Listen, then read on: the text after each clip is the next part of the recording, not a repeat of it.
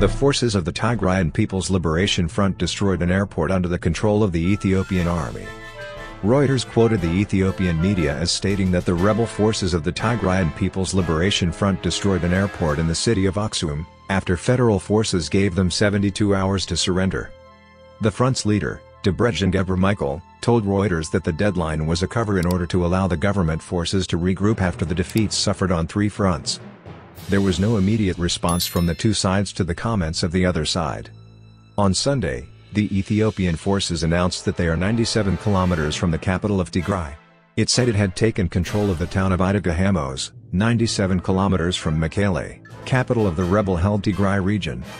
On Sunday, the Ethiopian army announced its intention to use tanks to surround the city of Mekele, warning civilians that it might also use artillery shells on the city. The next stages are the decisive part of the operation, which is to surround Mekele with tanks, and the battle in mountainous areas and advance to the fields, the military spokesman Colonel Dejene Tsegaye said. About two weeks ago, Ethiopian Prime Minister Abiy Ahmed declared war on the TPLF after he said that it had attacked an army camp and tried to steal its equipment.